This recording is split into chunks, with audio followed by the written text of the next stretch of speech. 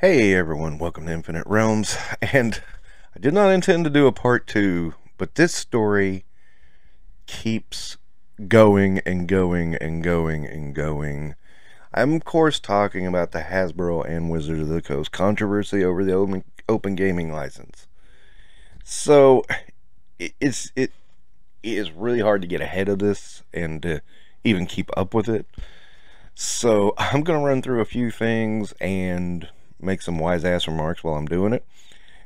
And uh, you guys, uh, you can just follow along. First up is, uh, oh, D&D Shorts uh, had this, which uh, supposedly comes from a, a Wizard of Coast employee.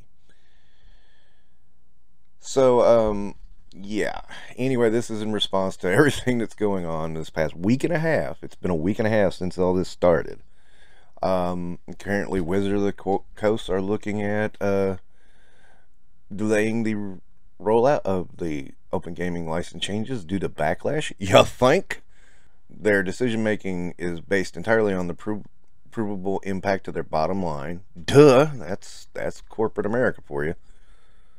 Specifically, they are looking at um, D&D Beyond subscriptions cancellations as the quickest financial data they currently have, which, from all reports, a lot of people have canceled them. And finally, they are hoping that the community forgets, moves on, and can still push, they can still push this through. None of which is surprising in the least. That sounds like Hasbro right there. They screw up. They keep pushing through. They, they'll try a couple other things. Does this sound like the HasLab to you from the Ghost Rider? Uh, for you action figure guys. I mean, you know, like, okay, well, we'll we'll try doing this and this. Well, we'll just act like it never happened, even though there's a big post on the Hasbro Pulse that it happened. So, uh, the the line that is getting people in this, and you can freeze this uh, screen and um, you know read this over in its entirely if you want. I don't think it's that important to read the whole thing because, um, again, you know, I mean, it's all. If you've had to deal with Hasbro at all. This is all this none of this is surprising, but I was really surprised by the reaction to uh, you know the managers uh, this line, you know. I've never heard management refer to customers in a positive manner. Their communication gives me the impression they see customers as obstacles between them and their money. And this shocks you why exactly? I don't know. Maybe us in the action, maybe the action figure world is a little more used to this because you know they're always trying to separate us from our money. Let's face it, and they're trying to make excuses to separate us from our money. They buy content creators. yeah, I'm blatantly saying that. I, they, there are content creators who are on the payroll. It's pretty obvious if you look at it. It's very obvious. So, you know, take that for what you will. I mean, we've gotten used to this kind of thing and we know it. Most of the time, we just accept it and try to, you know, do what we want to do without giving too, too much to the evil dragon. And when I say evil dragon, I mean Hasbro. But again, I was kind of shocked that the, the, the people were actually shocked by that. It didn't shock me in the slightest. I was just like, yeah, that's uh, Hasbro for you. So, in the meantime, Paizo announces something that um, really kind of blew the doors off this whole controversy yesterday. Um, I, I, love this how it opens. For the last several weeks, as news of Wizard of Coast's new version of the Open Gaming License began circulating among publishers and social media, gamers across the world have been asking Paizo what Paizo plans to do in light of Wizards of intention to deauthorize the OGL 1.0A. And I love how that starts for the past several weeks. In other words, Hasbro, you've Wizards, you've had time to respond. By the way, I hate when people call Wizards of the Coast WotC. I'm not going to do that except for reference right there. And so this is a very long uh, post, but it's an important one. You know, it explains how uh, Wizards of the Coast got with uh, got with Azora Law, who um, they're an intellectual property law firm, and was the was the attorney came up with the legal frame framework of the OGL itself. Um, and they worked with Brian Delancey, who conceived of the OGL in the first place. Paizo says they do not believe that the OGL 1A can be disauthorized, ever. It's, I mean, you got a law firm saying this, dude. Uh, I mean, they're backing up what Paizo is saying, according to what I'm reading there. And, and you know, that, that, that kind of makes sense because I can remember civics class back when they taught civics. How old am I? They were talking about laws and how they're being retroactive and you can't do a retroactive law. Um, you can only do the law from that point it's passed. Now, now, when I say that, I'm not saying I'm a legal expert or anything, but I do remember that being told, being taught to me, um, you know, a long, long, long time ago. I, now, you know, interpretation of the law is a different thing. You can interpret the law, but you can't uh, change the law. Now, laws can be interpreted differently. Obviously, that's why you have Supreme Court cases getting overturned, etc., etc. Um, but you know, with very clear, you know, I, it is one thing that really stuck with me for a long time is that when the law gets can't, you know, in other words, you can't get arrested for um, speeding 55 because you did it last week before the speed limit sign changed right? You know, I mean, that's the simplest example I can come up with. Uh, but yeah, the open gaming license, uh, my first thought on the open gaming license was that, you know, you can't retroactively say it's now under this new license. And there's more to back this up in a minute, but I will, I will, I'll, I'll get into that in just a second. One of these big ones is that uh, there's a line here that says, by the time we went to work on Pathfinder 2nd Edition, Wizards of the Coast Open Gaming content was significantly less important to us, and our designers and developers wrote the new edition without using Wizards Wizards copyright expressions of any of the game expressions of any of the game's mechanics. We still published under the OGL.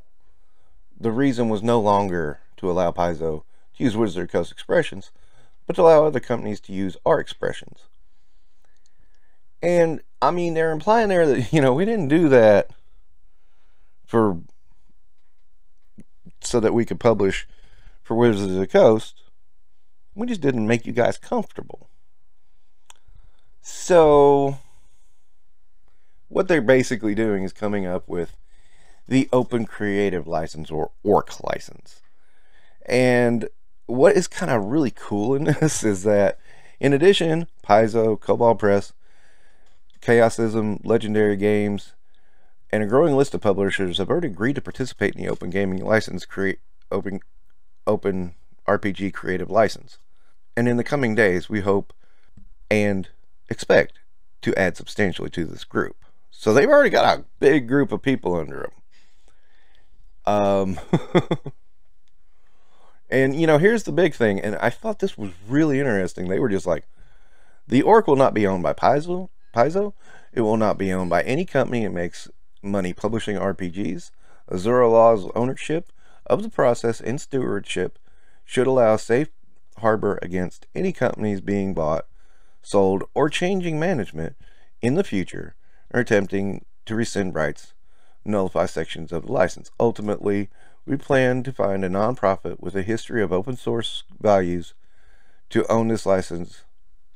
And there you go open source. And of course, you know, they say very blunt, bluntly, we're still publishing Pathfinder and Starfinder, as they should. The second edition of Pathfinder does not borrow from D&D. It's, um, I mean, there's some mechanic stuff there, but you can't copyright mechanics. It's, uh, what someone explained to me is, you know, you can make a game like Monopoly, has all the mechanics of Monopoly You just can't have Boardwalk and Park Place. So that's you know just something to keep in mind.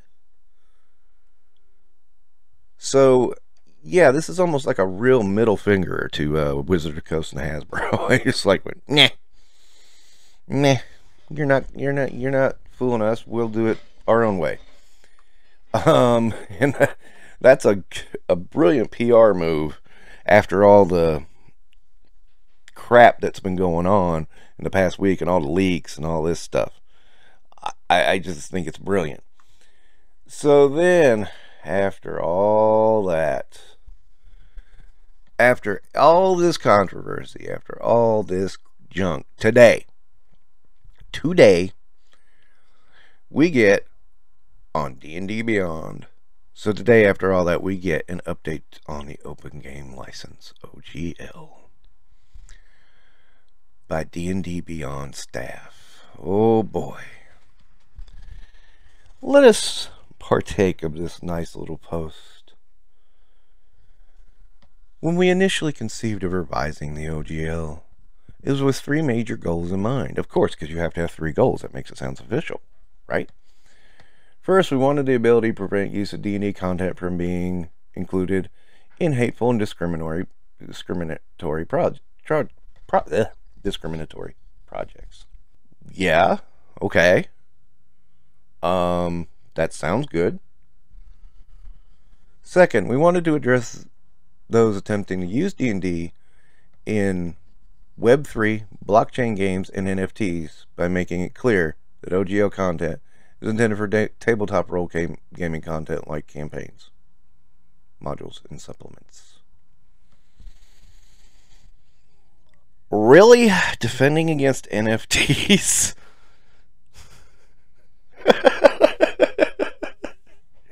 yeah, okay.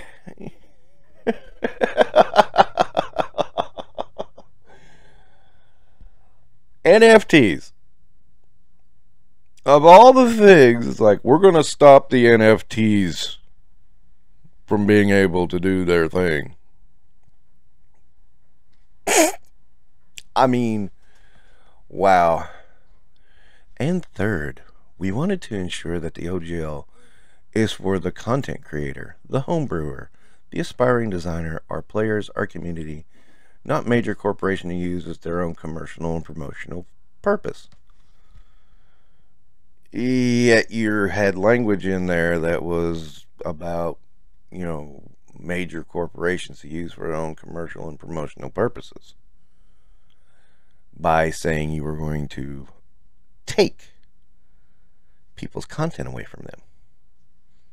Then you could use it at any time without paying royalties. Okay. Good for you, Open Gaming License Post. Driving these goals were two simple principles. One, our job to be good stewards to the game. And two, OGL exists to the benefit of the fans. Nothing about these principles has wavered for a second. Really? Hasn't? Wavered quite a bit from what we've seen. And this is the part that kind of made me go, what?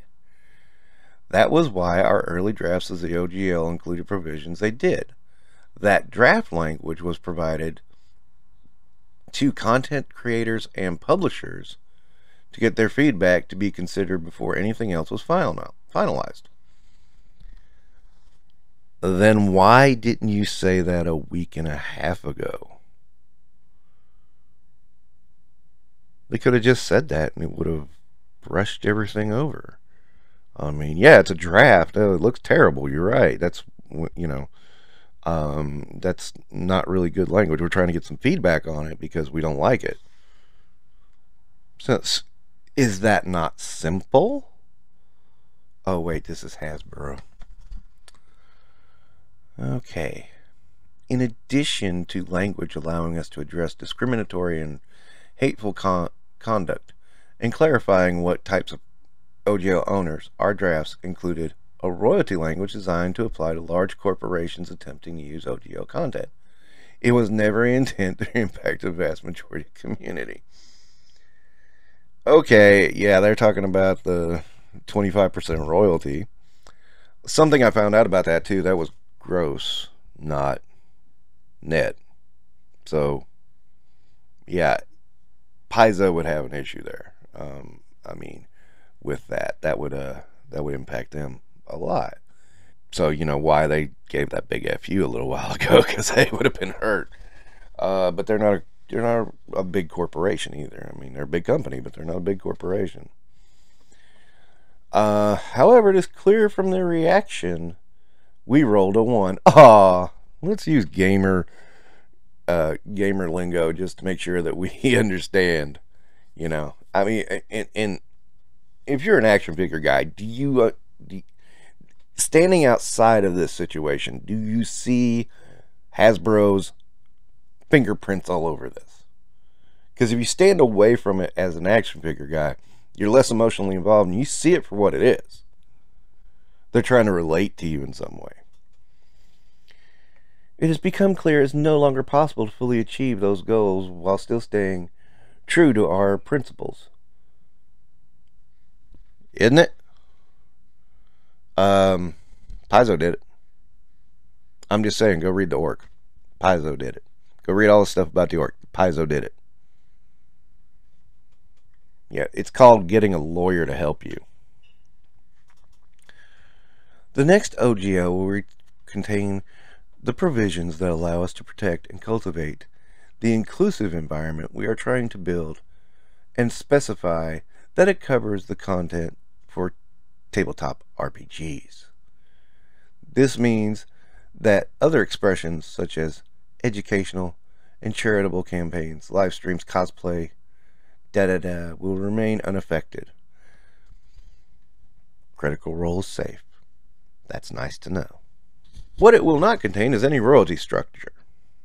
Now, this is interesting considering there was another leak and said they were going to have an FAQ uh, probably Monday. It was supposed to be today, but it's going to be Monday, and it actually does have a royalty structure, and they changed it to 20%. But there is a royalty structure in it. It will also not include the license back provision from some people that were afraid that it means for us to steal work. Really, sure about that? Because uh, you know, I'm, I'm sorry. After reading this, I mean, it just. Oh, we were just throwing a draft out there. yeah, I mean, I don't believe it was a draft. I'm sorry. That thought never crossed our mind. Then why did you have it in there? I mean, it very clearly stated it.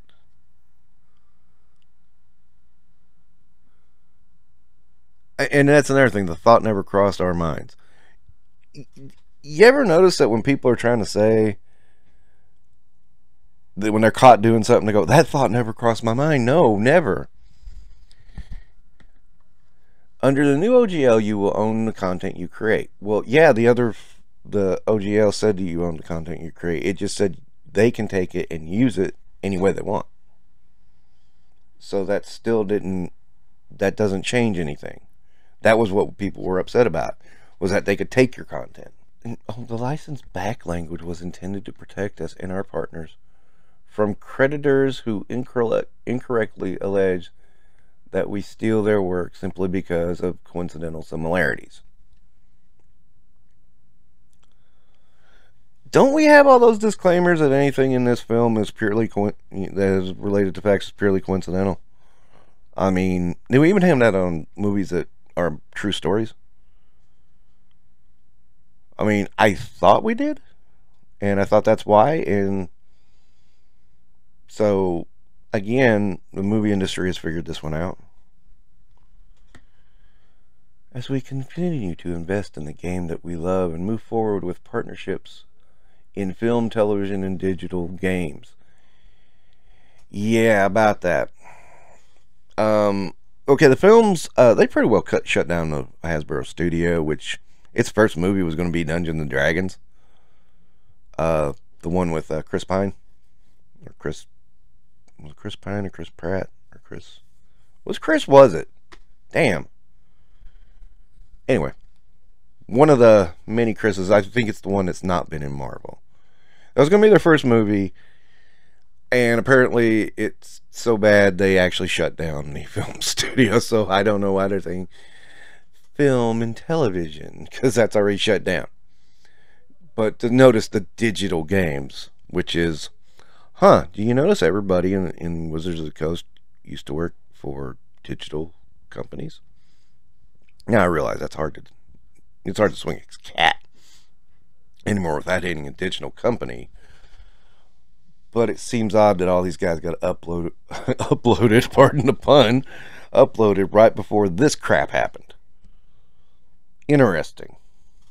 Uh, you can go look into that. Um, you know, people were screaming about it back then that there was something going on with this, and yeah. Uh, the new OGL will contain provisions to address that risk but we would do so without the license back and without suggesting that we have rights to content you create. Last damn line of the paragraph, they put this up. So we're so serious about it, we're going to put it in the last line of the paragraph.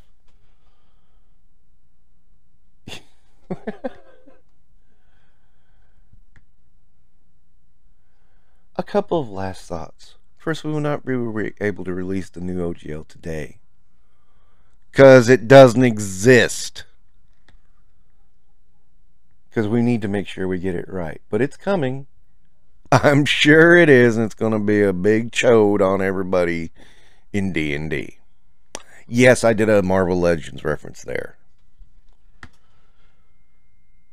Second, you're going to hear a lot hear people say that they won and we lost because making our voices heard forged forced us to change plan. Those people will only be half right. They won, and so did we. What the fuck kind of half?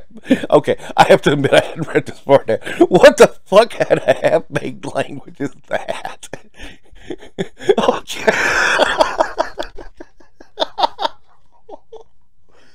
Holy shit! People are gonna say we they won and we lost, but no, we all won. No, you didn't, you stupid asses, because you're still in business and you still doing your shit. Oh God! But you lost a lot of revenue doing this, and I don't think they're really doing anything different. I think they're probably gonna make it all the same, and hope we think it goes away.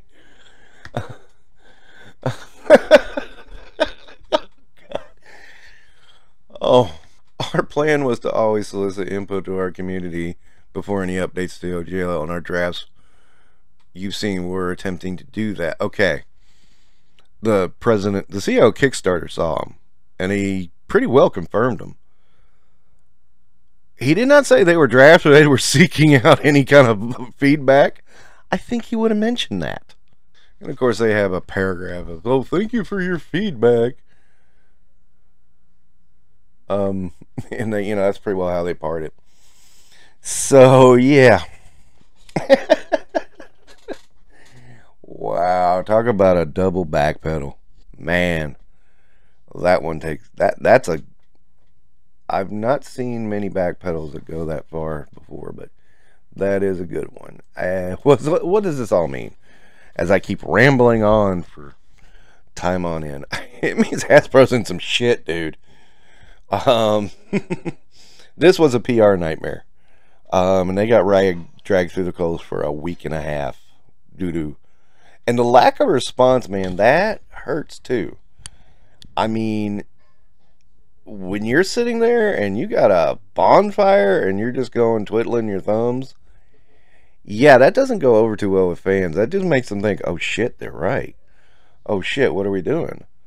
And you know what? Yeah, that's what we've been doing. And I don't, I got to say, I don't believe any of this is like sincere or real or anything like that. Now, they're probably going to do some changes because they got freaked out over a way people were jumping off of D&D Beyond.